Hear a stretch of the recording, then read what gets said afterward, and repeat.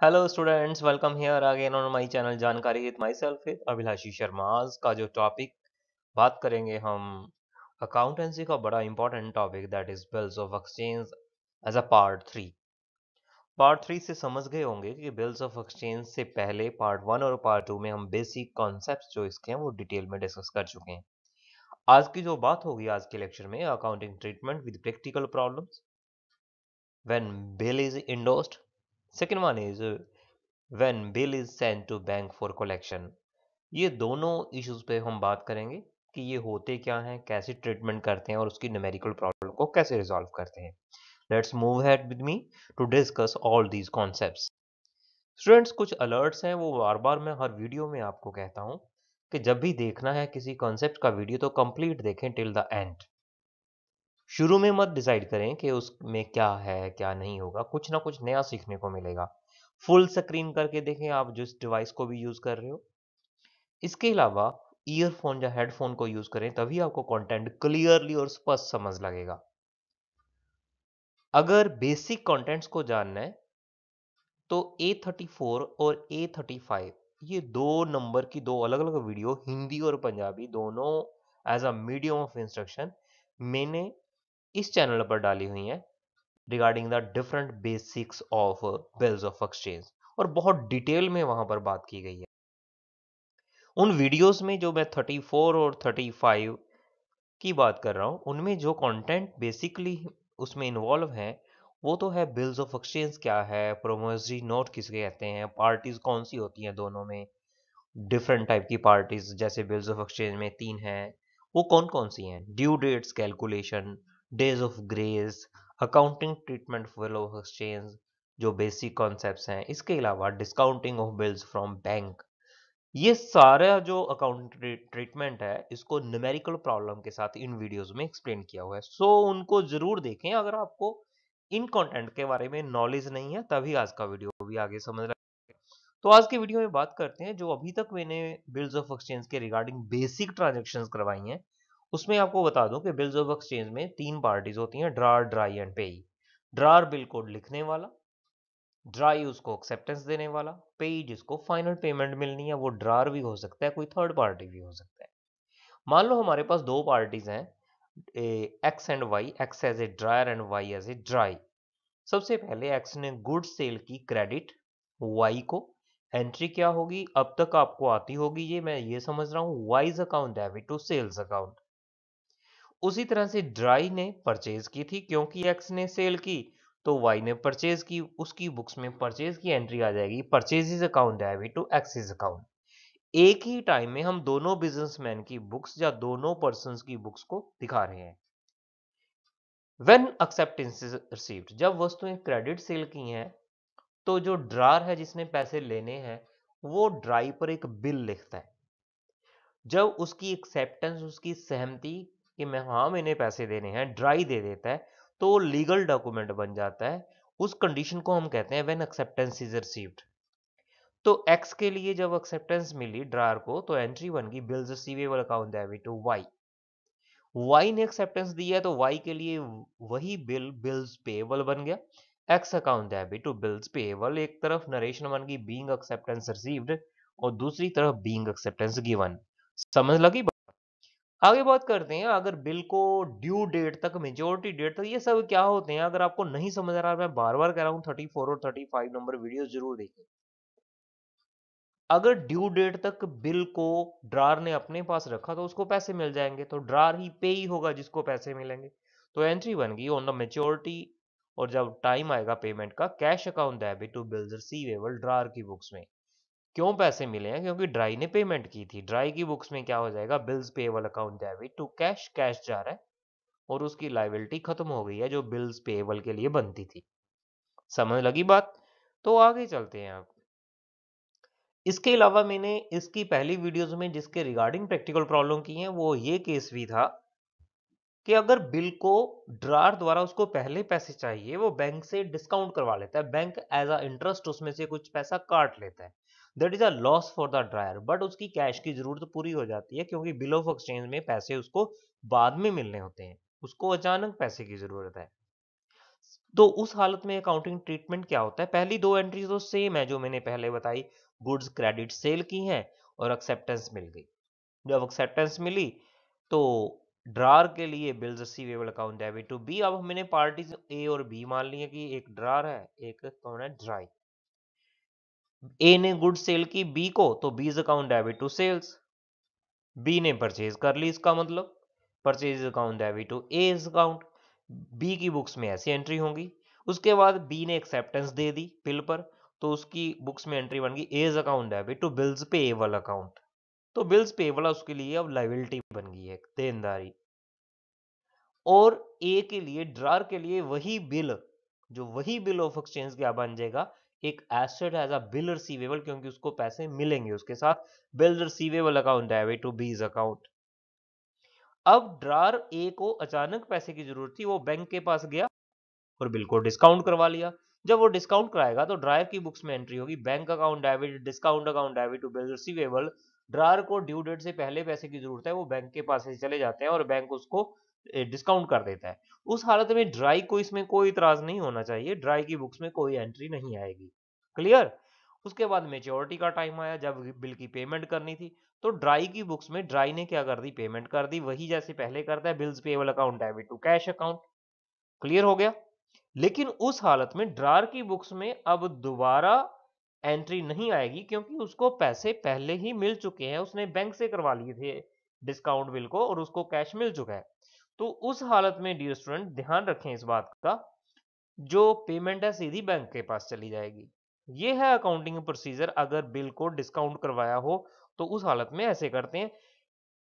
इसके रिगार्डिंग जो मैंने अभी तक डिस्कस किया कंप्लीट वीडियोस हैं दोनों, उसमें न्यूमेरिकल क्वेश्चंस भी हैं। अब आगे बढ़ते हैं, क्योंकि आज का जो टॉपिक है उसको करने के लिए जो पहले मैंने बताया आज, वो समझना ज़रूरी था। वेन बिल इज़ इंडोर्स्ड ये होता क्या है? बिल को इंडोर्स कर देना। What is endorsement of bill ये एग्ज़ाम में जनरली एक थोरेटिकल क्वेश्चन भी बन जाता है। Endorsement means transfer of bills of exchange और promissory note to another person the person receiving the bill of exchange और promissory note becomes authorise to receive the payment the person who transfers the bill of exchange or promissory note is in favor of another person is called endorser the person to whom bill of exchange और promissory note is endorse is called endorsee ध्यान से इसको breakup करके समझते हैं छोटे छोटे हिस्सों में बिल का इंडोर्समेंट होना क्या होता है कई बार क्या होता है बेसिक समझो इसका जैसे ड्रार ने ड्राई से पैसे लेने हैं ऐसे ही ड्रार ने जो भी कोई पार्टी है, उसने किसी के पैसे देने भी हो सकते हैं। मान लो किसी से पाँच हज़ार लेना आगे उसने पाँच हज़ार किसी का देना है, उसके पास बिल ऑफ़ एक्सचेंज आया हुआ है एक्सेप्टेंस के बाद। तो वो क्या करता है, उस बिल ऑफ़ एक्सचेंज को किसी थर्ड पार्टी के नाम पर ट्रांसफ़र कर देता है। उस पोजीशन को हम endorsement of bill of exchange कहते हैं। Endorsement means the transfer of bill of exchange to the name of another person किसी और व्यक्ति के नाम पर। और जो ट्रांसफ़र करता है, जिसको हम ड्रार कह रहे हैं, उसको इंडोर्समेंट की कंडीशन में कहते हैं इंडोर्सर और जिसके फेवर में उसको इंडोर्स किया जाता है बिल को उस व्यक्ति को कहते हैं हम इंडोर्सी ध्यान रखो ये इंडोर्सी और जिसने ट्रांसफ़र किया, वो इंडोर्सर अब बिल को इंडोर्स कर दिया तो फाइनल पेमेंट अब इंडोर्सी को मिलेगी। समझ लगा? जिसके फेवर में इंडोर्समेंट की है। इस सारे प्रोसेस को endorsement of bill of exchange कहते हैं। बिल ऑफ़ एक्सचेंज को इंडोर्स कर देना ट्रांसफ़र कर देना किसी थर्ड पार्टी के नाम पे। इसका अकाउंटिंग ट्रीटमेंट क्या है? उसको समझने से पहले एक format specimen of bill of exchange मान लो ये बिल ऑफ़ एक्सचेंज है, एक पार्टी ए है, जो ड्रार है, जिसने बिल लिखा था, और उसने बिल को जिससे उसको एक्सेप्टेंस मिली पार्टी, वो है सी ड्राई उसने सी को ऑर्डर किया फोर मंथ्स आफ्टर डेट ये जो डेट ऊपर लिखी हुई है सेवंथ अप्रैल 2015 इस डेट के चार महीने बाद पे टू मिस्टर बी एक थर्ड पार्टी है मिस्टर बी जिसको हम पेई कहेंगे अब, नया पेई बन गया, जिसको पैसे मिलेंगे final payment sum of rupees ten thousand for the value received mister B को दस हज़ार रुपए की पेमेंट कर दी जाए, जिसकी वैल्यू आपको प्राप्त हो चुकी है। किसको प्राप्त हो चुकी है? सी को। इसको, इस प्रोसेस को हम इंडोर्समेंट का प्रोसेस कहते हैं, क्योंकि बिल का अब जो फाइनल बीरर है, वो मिस्टर ए नहीं रहा। पेमेंट ए के पास नहीं आएगी, पेमेंट आएगी बी के पास। दैट इज़ द इंडोर्समेंट तो हम और डिटेल में समझते हैं ग्राफिकल फॉर्मेशन बना के, इसको देखो ध्यान से। ड्रार है, मान लो एक ए, क्योंकि उसने क्रेडिट सेल की थी बी को। अब पैसे लेने हैं बी से। डॉक्यूमेंट्री प्रूफ बनाने के लिए उसने बिल ऑफ़ एक्सचेंज नाम का डॉक्यूमेंट बनाया और उसको एक्सेप्टेंस के लिए बी के पास भेज दिया। बी ड्राई है, एक्सेप्टर है, पेयर है, उसने पैसों की फाइनल पेमेंट करनी है, कोई भी नाम दे सकते हो। उसने उस पर एक्सेप्टेंस दी, एक्सेप्टेंस रिसीव किसको होगी? ए को। तो बिल ऑफ़ एक्सचेंज एक लीगल डॉक्यूमेंट बन गया इसके बाद। अब उसने सी को पैसे देने थे आगे, ए ने। थर्ड पार्टी थी कोई तो उसने बिल को इंडोर्स कर दिया सी को। अब सी नया बीरर बन गया उस बिल का। पहले तो ए था बीरर बीरर जिसके नाम पर पेमेंट होनी है। अब नया बीरर कौन बन गया? सी और पेई भी कह सकते हैं हम इसको, नया पेई बन गया क्योंकि इसको पेमेंट अब ए को नहीं मिलेगी, अब पेमेंट किसको मिलेगी? सी को because the endorsement process is completed अब जब ड्राई पेमेंट करेगा तो ड्राई जो बी है वो पेमेंट कर देगा। सी को अब ए के पास पैसे नहीं आएँगे। That is the complete process of endorsement of bills accounting treatment क्या है? पहली दो एंट्रीज तो वैसे ही जब गुड सेल होंगी, मान लो दो पार्टीज़ हैं ए एंड बी एक ए एक बी ए ड्रार है बी ड्राई है बी को गुड सेल की B account debit to sale B ने परचेज कर ली purchase account debit to A आज मैं तीन बार बता रहा हूँ, आज इस वीडियो में ये एंट्रीज जब बिल लिखा एक्सेप्टेंस मिल गई तो वही entry bill receivable account debit to B's और A account debit to bills payable अब आगे का प्रोसेस जो आज से है, वो है इंडोर्समेंट उसने अब बिल इंडोर्स कर दिया सी को। तो ए जो ड्रार है, उसने किया, उसकी एंट्री में, उसकी बुक्स में एंट्री हो जाएगी। C is account debit because C is the receiver और बिल रिसीवेबल जो उसकी एसेट थी, वो बाहर चली गई।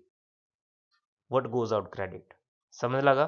Cash account debit to bills receivable account being bill endorse to C C को बिल रिसीवेबल रिसीव हो गया bill receivable account debit to A's account clear because A is the giver पर ड्राई की बुक में उस position में कोई entry नहीं आएगी, क्योंकि ड्राई को इसमें कोई इतराज नहीं है भी उसने बिल किसको इंडोर्स किया? अब maturity date I when payment is made on maturity तब अब ड्रायर को पेमेंट नहीं मिलेगी no entry in the books of drawer payment किसको मिलेगी? इंडोर्सी को, और पेमेंट करेगा कौन? वही ड्राई जो पहले करता है। Bill payable account debit to C इसने पेमेंट कर दी, क्योंकि बिल पेबल इसकी लाइबिलिटी थी। और कैश किसको प्राप्त हुआ फिर अब इस बार? इंडोर्सी को cash account debit to bills receivable इसके लिए वो बिल रिसीवेबल था। और ड्राई के लिए क्या था, वो बिल पेएबल समझ लगी मेरी बात? ये है अकाउंटिंग ट्रीटमेंट इसका। अब इसको एक एग्जांपल के साथ करते हैं। Let X draws a bill on Y bill of exchange for three months for four thousand X ने तीन महीने की ड्यू डेट पर फोर थाउज़ेंड का बिल ड्रा किया वाई पर। Accepted Y Y on first January Y ने उसको एक्सेप्ट कर लिया एक जनवरी 2020 को। X endorsed it on 4th January 2020 to his creditor X ने आगे वही बिल अपना क्रेडिटर था जिसको उसने पैसे देने थे, उसको वो इंडोर्स कर दिया। On due date the bill is duly met जब ड्यू डेट आई तो बिल की पेमेंट हो गई। अब हमने बुक्स में एंट्रीज करनी है एक्स वाई एंड जेड तीन पार्टीज़ हैं, तीनों की बुक में। इसमें समझो एक्स कौन है ड्रार वाई कौन है ड्राई जिसने एक्सेप्टेंस दी है, जो पेमेंट करेगा, और Z कौन है इंडोर्सी जिसके फेवर में बिल इंडोर्स किया गया और पेमेंट अब Z को मिलेगी। बिल्स ऑफ़ एक्सचेंज के प्रोसेस में बिकॉज़ इंडोर्समेंट इज़ देयर सबसे पहले बिल लिखा गया और एक्सेप्टेंस मिल गई एंट्री क्या बन गई? Bill receivable account debit to Y आप सोचोगे यहाँ सेल परचेज की एंट्री नहीं है। अगर ऊपर दी होती तो हम सेल परचेज दिखा देते। अब सीधा बिल ऑफ़ एक्सचेंज की एक्सेप्टेंस हो रही है, हम वहाँ से शुरू कर लिया क्वेश्चन को। Bill receivable account debit to Y account और वाई की बुक्स में क्या बन जाएगा? X's account debit to bills payable एक तरफ़ बीइंग एक्सेप्टेंस रिसीव्ड एक्स की बुक्स में उधर एक्सेप्टेंस दी है तो बीइंग एक्सेप्टेंस गिवन वाई की बुक्स में। और इंडोर्सी अभी इन्वॉल्व नहीं हुआ नो एंट्री अब फोर्थ जनवरी को बिल को इंडोर्स कर दिया जेड की फेवर में। Z account debit to bill receivable bill receivable जा रहा है बाहर but goes out credit real account में। जेड पर्सनल अकाउंट है जेड इज़ अ रिसीवर उस बिल को रिसीव करने वाला कौन हो गया? Z Z account debit to bill receivable account और ड्राई की बुक्स में कोई एंट्री नहीं आएगी, ध्यान रखो, क्योंकि ड्राई को कोई इंपैक्ट नहीं पड़ने वाला। Being bill endorse to Z क्योंकि बिल जेड को इंडोर्स किया गया। अब जेड को बिल इंडोर्स किया तो जेड की बुक्स में बिल रिसीवेबल आ रहा है, उसके पास bill receivable account debit to X's, account X is the giver. अब पेमेंट का टाइम आया, पहले ड्यू डेट निकालेंगे, तीन महीने बाद बिल की पेमेंट होनी है, एक जनवरी के बाद तीन महीने बन रहे हैं, एक अप्रैल को, पर उसमें तीन दिन ग्रेस के ऐड करते हैं, आपको बताया हुआ है मैंने जब पहले वीडियोस है, अप्रैल फोर्थ बन गया, डेज़ ऑफ़ ग्रेस ऐड करते हैं ड्यू डेट के लिए तो पेमेंट कर दी पहले, किसने पेमेंट की? वाई ने बिल पे वाला account debit to cash. To bank भी लिख सकते हैं, उससे फ़र्क नहीं पड़ता। अब Z को पेमेंट प्राप्त होगी cash account debit to bill receivable अब ड्रायर की बुक्स में कोई एंट्री नहीं आएगी because the final pay is endorsee Z समझ लगा? क्योंकि अब पेमेंट उसको रिसीव हुई है। तो स्टूडेंट एक और कंडीशन होती है बिल ऑफ़ एक्सचेंज में when bill is send to bank for collection कई बार जो बिजनेसमैन है वो बिलों की, क्योंकि उससे उनके पास बिलों के ढेर होते हैं खुद कलेक्शन नहीं करते, वो कहते हैं, बैंक को बिल भेज देते हैं कि बैंक उनके बिहाफ पर बिल कलेक्ट करेगा और उसके अकाउंट में क्या कर देगा, डाल देगा भी, जमा कर देगा उसके अकाउंट में। अब उस हालत में क्या होता है, बैंक फ्री में तो करेगा नहीं, बैंक उसमें से इंटरेस्ट या अपने चार्ज काट लेता है और बाकी पेमेंट उस व्यक्ति को दे देता है, जो बिल का होल्डर है, जिसको पेमेंट मिलनी चाहिए। तो इस प्रोसेस को जब बिल्स बैंक को भेज दिए जाएँ ड्यू डेट से पहले या ड्यू डेट पर for the collection that process is known as bill send to bank for collection मान लो इसको हम ट्रीट करते हैं तो जर्नल एंट्रीज क्या होंगी? जो पहली एंट्रीज हैं वो तो एज इट इज़ अब बिल आ गया एक्सेप्टेंस मिल गई वो आपको पता है। अब बिल एक्स जो पार्टी है, मान लो ड्रार उसने जो वाई से बिल मिला हुआ था एक्सेप्टेंस मिली हुई थी, उसको किसको भेज दिया? बैंक को बिल्स सेंट फॉर कलेक्शन या bill for collection account debit to B R account, bill receivable account. समझ लगा? यहाँ पर बिल्स फॉर कलेक्शन अकाउंट बना दो या bills sent for collection account बना दो, एक ही बात है। बैंक को भेज दिया bills sent for collection account debit to bill receivable bill receivable चला गया बिज़नेस से बाहर बैंक के पास। मेच्योरिटी का टाइम आया, जब डेट ऑफ़ मेच्योरिटी आई पेमेंट का टाइम आया वाई ने पेमेंट कर दी bills payable account debit to cash या बैंक अब पेमेंट ड्रार के पास नहीं जाएगी। पेमेंट कहाँ जाएगी भी? जिसके पास बिल था। बिल ड्रार ने किसको भेज दिया? बैंक को। बैंक ने पेमेंट कलेक्ट करके उसके अकाउंट में डाल दी तो एंट्री क्या बन गई? Bank account debit to bills for collection account किसके अकाउंट में डाली? ड्रार के अकाउंट में। क्योंकि ड्रार ने भेजी इसलिए थी ताकि उसके बिहार पर बिलों की कलेक्शन करके उसके अकाउंट में डाल दे। क्लियर होगी ये बात? तो स्टूडेंट्स आगे, इस बात को समझो तो कंप्लीट ट्रांजेक्शन्स क्या बन गई? अगर समझे सबसे पहले गुड्स सेल की जाएँगी तो सेल और परचेज की एंट्री डाली जाएगी। और जब एक्सेप्टेंस मिलेगी तो एक्सेप्टेंस की एंट्री आज तीन चार बार हम कर चुके हैं। उसके बाद बिल को अगर बैंक को कलेक्शन को भेजा था, bill for collection account debit to bill receivable आपको बताया और जब पेमेंट होगी तो bank account debit to bill for collection account और ये पेमेंट कर देगा drawee bill payable account debit to cash ये है कंप्लीट प्रोसीजर समझाई मेरी बात? ये रिवीजन के लिए आपने बताया। कई बार कई बार क्यों? बैंक फ्री में तो करेगा नहीं। बैंक जनरली अगर क्वेश्चन में नहीं भी दिया होता प्रैक्टिकली क्या होता है? बैंक उसमें से कुछ पैसा काट लेता है एज अ इंटरेस्ट क्योंकि वो काम कर रहा है, पहले पेमेंट उसके बिहार पर कलेक्शन करके उसके अकाउंट में पैसे डाल रहा है। This one is known as collection charges तो जो ड्रार की बुक्स में पाँच हज़ार का बिल था, मान लो बैंक ने हंड्रेड रुपीज़ कलेक्शन चार्जेस काट लिए। अब पैसे तो कम जमा हुए ना तो ड्रार की बुक्स में, जब पे की बुक में एंट्री क्या बन जाएगी? Bank account debit collection charges account debit to bills for collection account और bill sent for collection account समझ लगा, अगर बैंक चार्जेस दिए हुए हैं तो हम ऐसे एंट्री करेंगे। Being bill collected by the bank bank ने बिल कलेक्ट करके उसके अकाउंट में डाल दिया। इसका मतलब ये। अब एक क्वेश्चन देखते हैं। X on y, a bill of exchange for three month for 5000 which one is accepted by y on 1st January 2020 x ने वाई पर बिल लिखा, तीन महीने का 5000 का। जो वाई ने एक्सेप्ट कर लिया एक जनवरी 2020 को। Sent the bill to his bank for collection on April 1st April 1st को उसने बिल बैंक को भेज दिया कलेक्शन के लिए।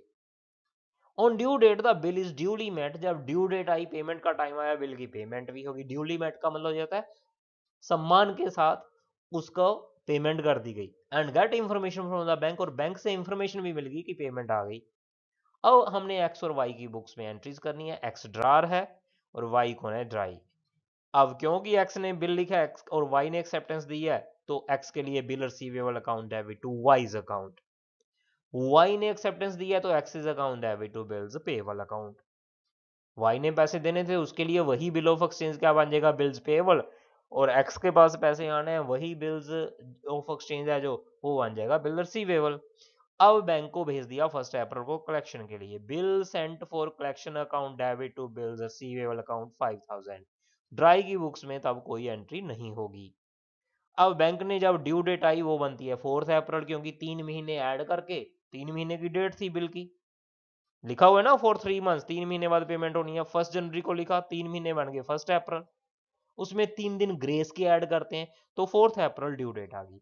Bank account debit to bills sent for collection account, due date को पैसे बैंक में जमा हो गए उसके अकाउंट में और इंफॉर्मेशन आने के बाद उसने अपनी बुक्स में फोर्थ अप्रैल को ट्रांजेक्शन कर दी। क्यों आए ये बैंक में पैसे? क्योंकि वाई ने पेमेंट की थी। वाई इज़ द ड्राई उसने पेमेंट करनी है। पेयर है वो पेमेंट करने वाला। उसके लिए एक नॉर्मल एंट्री है, जैसे वो बिल पेबल की करता है bill payable account debit to cash या बैंक अकाउंट क्लियर स्टूडेंट ये है complete process so I think the whole process is quite clear bill of exchange के जो बेसिक कॉन्सेप्ट हैं 34 नंबर वीडियो में है। 35 में आप देख सकते हो डिस्काउंट के रिगार्डिंग न्यूमेरिकल प्रॉब्लम्स के रिगार्डिंग और जो आज की वीडियो है, उसका जो हिस्सा आपको समझ नहीं लगा, आप उसको देखें दोबारा से। नीचे कमेंट बॉक्स में कमेंट दें अगर आपका कंसर्न है। I will try to answer there इस चैनल पर अकाउंटेंसी से रिलेटेड बहुत सी वीडियोस पहले भी हैं। इकोनॉमिक्स और कॉमर्स के दूसरे सब्जेक्ट से रिलेटेड वीडियोस ऑलरेडी यहाँ पर एग्जिस्ट कर रही हैं और साथ में मोटिवेशनल वीडियोस भी हैं। तो students I think the whole concept is quite clear जो ये वीडियो है, इसको भी देखें। पहली वीडियो को और कंटेंट को समझने के लिए यूज़ करें और आने वाली वीडियोस का इंतज़ार करें। Till then thank you very much